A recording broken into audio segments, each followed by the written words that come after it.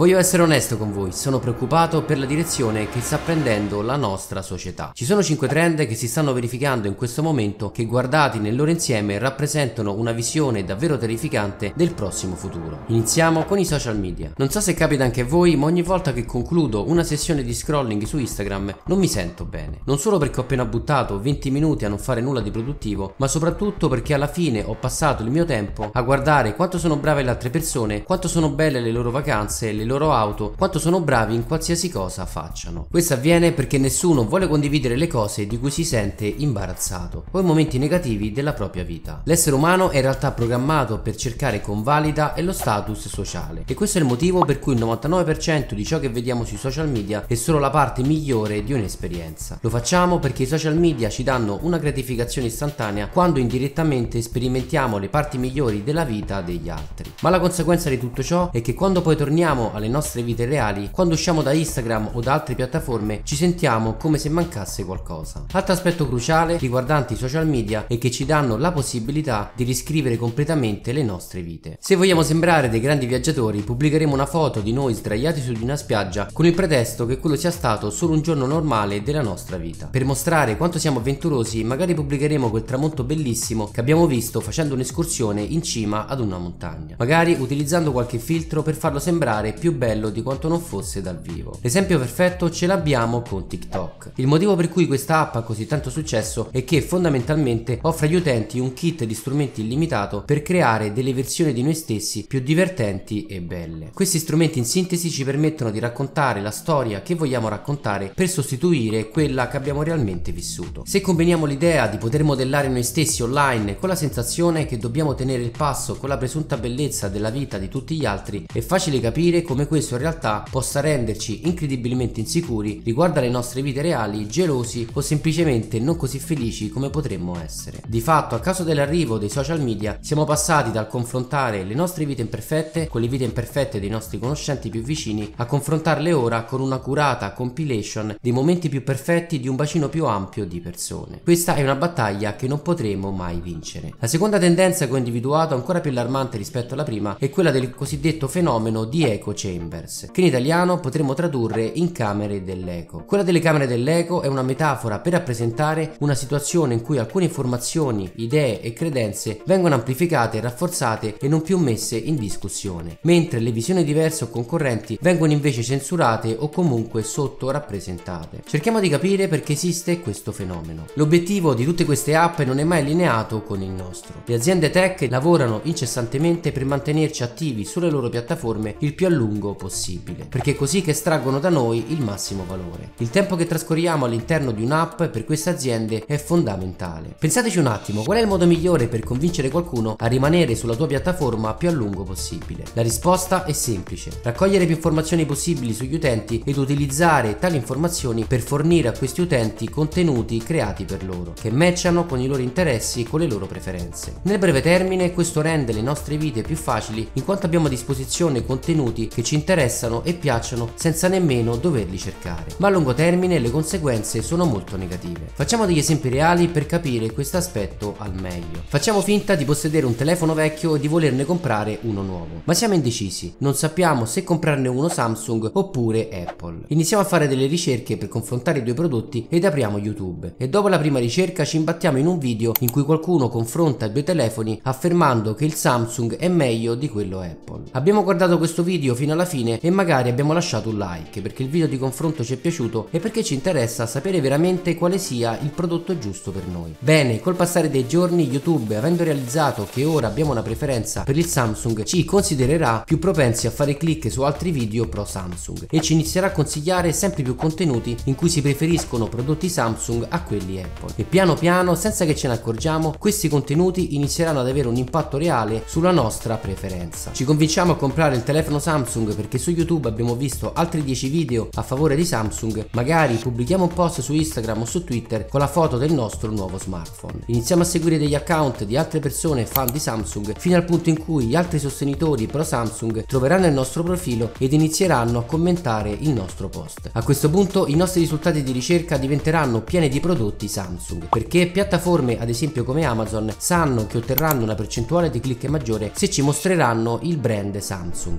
In poco tempo tempo ci troveremo nella condizione di voler comprare altri prodotti Samsung, magari un tablet o un televisore e ci sentiremo così incredibilmente sicuri di aver preso la decisione giusta sostenendo Samsung che non ascolteremo nemmeno le altre opinioni esterne. Se per esempio qualcuno ci dicesse che le TV Samsung non sono le migliori, nemmeno lo ascolteremmo. Vi rendete conto cosa è appena successo? Abbiamo visto un video casuale su una tematica che ci interessava in cui veniva espressa una preferenza e da quel momento siamo finiti per allontanarci dalle persone con una opinione diversa dalla nostra. Questo avviene perché online vengono filtrate le cose che potrebbero contraddire il nostro modo di pensare e allo stesso tempo veniamo circondati di contenuti che rafforzano le nostre opinioni. Questo avviene di fatto perché le grandi aziende tech che dominano internet ne traggono beneficio. Dovete sapere che quando siamo online noi tutti è come se ci trovassimo in una bolla contenente informazioni ed opinioni e finiamo per essere spinti nella direzione che ci terrà più a lungo sulla piattaforma e che farà guadagnare più soldi a queste aziende. Questo è il motivo per cui le piattaforme di social media si stanno sbarazzando delle singole home page condivise e di qualsiasi luogo in cui potresti non ottenere contenuti più mirati. Nelle singole home page dovrebbero mostrarci video generalizzati che è meno probabile che ci piacciono e che quindi ci potrebbero portare a lasciare la loro piattaforma. Abbiamo fatto l'esempio dello smartphone, ma questa polarizzazione del pensiero diventa davvero preoccupante quando si parla di tematiche più importanti e delicate, come i problemi del mondo reali o le questioni politiche, tematiche quali l'aborto, il cambiamento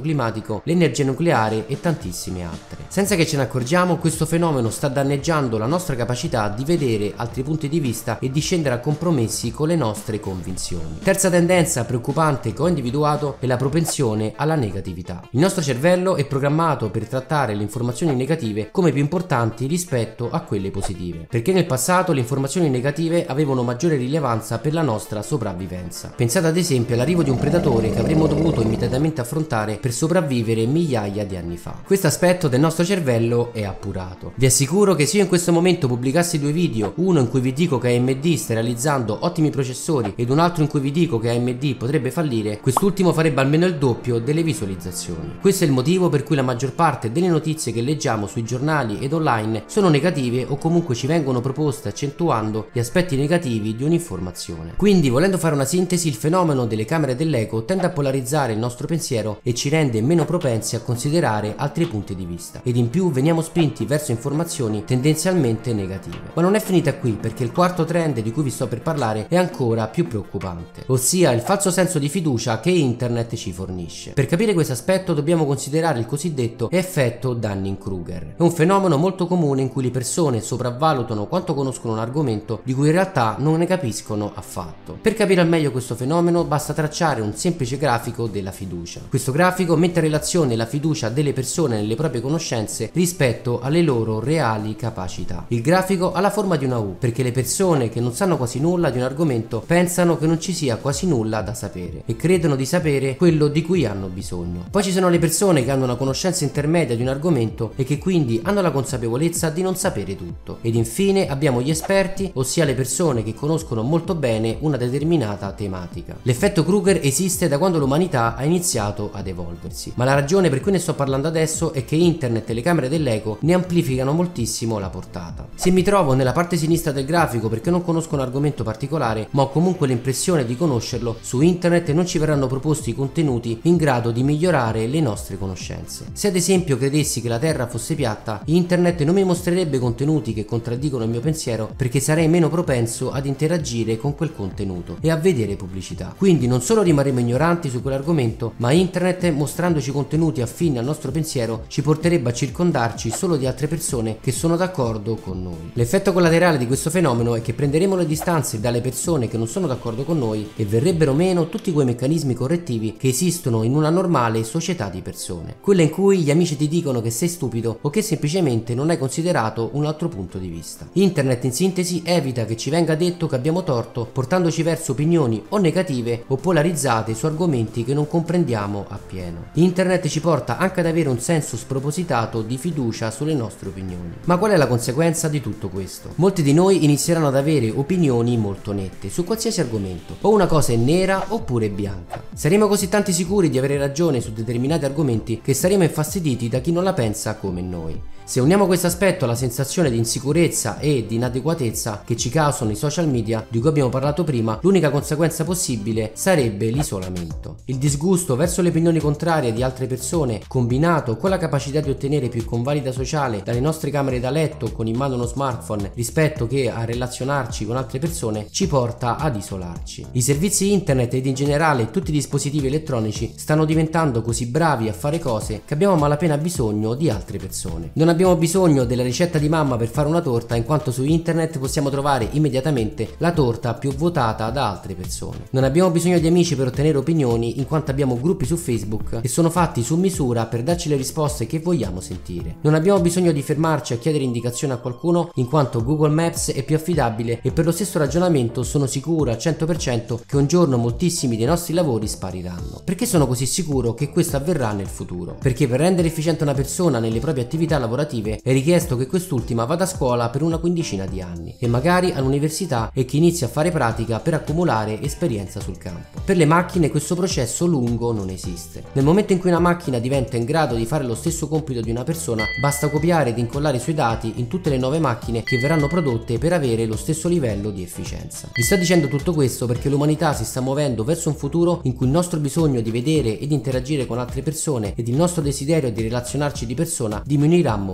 Facciamo degli esempi reali per capire questo aspetto al meglio. Nel corso del 2020, durante un lockdown, così come tantissime altre persone, mi sono ritrovato con tantissimo tempo libero. Così ho iniziato a giocare online con alcuni vecchi amici. Ci davamo appuntamento ad un orario prestabilito e giocavamo per diverse ore. Chiacchieravamo, parlavamo delle nostre vite e di tante altre cose. E devo dire che con alcuni di questi ho effettivamente avuto alcuni dei momenti più belli mai condivisi della nostra intera amicizia. Ma poi ho notato qualcosa di preoccupante. Quando il lockdown si è concluso e ci era permesso incontrarci di nuovo di persona, non ho sentito il bisogno di farlo. Perché avrei dovuto trascorrere mezza giornata nel traffico per essere in grado di avere una conversazione con persone che avrei potuto sentire comodamente da casa mentre giocavo al PC. Un altro esempio perfetto è quello dello shopping online. Lo so, molti di noi continuano a pensare che l'esperienza di acquisto fatta di persona sia imbattibile. Ma se guardi i dati demografici, i giovani ora sono dell'opinione che tutti gli acquisti dovrebbero essere fatti online. La prossima generazione di bambini non prenderà nemmeno in considerazione lo shopping di persona, in quanto non avrebbe senso per loro. Perché dovrebbero andare in un negozio di persona e dover scorrere centinaia di cose che non vogliono quando possono letteralmente digitare la parola esatta di ciò che stanno cercando ed acquistarla con un clic per averla a casa il giorno stesso o quello successivo? Perché dovrebbero voler fare la fila alla cassa e portare in giro le borse della spesa quando possono farle recapitare a casa lo stesso pomeriggio? Questi sono solo alcuni dei tanti esempi che mi portano a pensare che ci stiamo già iniziando ad isolare e questo fenomeno può solo peggiorare. L'altra sera sono andato al ristorante e davanti a me c'era un tavolo di giovani ragazzi. Erano tutti seduti attorno allo stesso tavolo ma ognuno guardava il proprio smartphone. Le app che stavano usando in quel momento erano in grado di fornire più valore dei loro amici più cari che erano letteralmente seduti di fronte. Ragazzi questo non rappresenta una mia opinione, ci sono parecchi dati che dimostrano che il tempo trascorso su internet ogni anno aumenta in maniera esponenziale. Visto che il tempo è una risorsa limitata ed uguale per tutti, maggiore tempo passiamo su queste app e minore sarà quello che trascorreremo nelle relazioni umane, fatte di persone. A livello pratico nessuno ci impedisce di incontrare fisicamente altre persone, ma a livello sociale i luoghi in cui questo avveniva con facilità stanno sparendo. Le riunioni stanno diventando digitali, i luoghi di lavoro si stanno ridimensionando ed anche i concerti di musica adesso si cominciano a vedere all'interno di videogiochi, invece che nei palazzetti e negli stadi. Ragazzi, anche i lanci dei prodotti tech non si fanno più di persona e soprattutto non sono